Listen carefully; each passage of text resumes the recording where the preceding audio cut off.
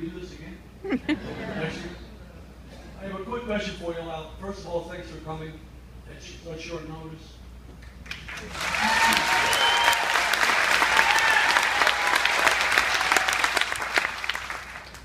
If I ask you a question and you give me the answer, can I tell you a quick story about the answer?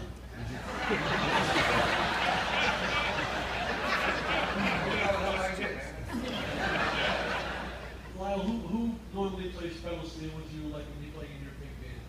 Uh, you know, uh, since 1993, Buck Reid has played steel, steel live, live. That's the correct answer.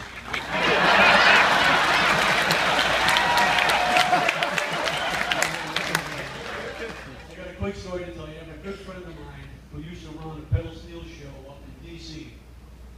It was for heart transplant patients. They would generate money to help the. And Buck was playing in that show one time, and my buddy Dean Black, who used to run the show, just prior to him getting ready to play, went over and removed his finger picks and put some all mashed up finger picks in his place. So tell Buck that Dean Black said hello, please.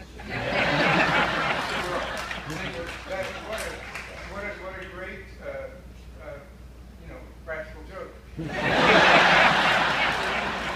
you, me your name? My name's Tom Uh, what's your last name? Cowieson.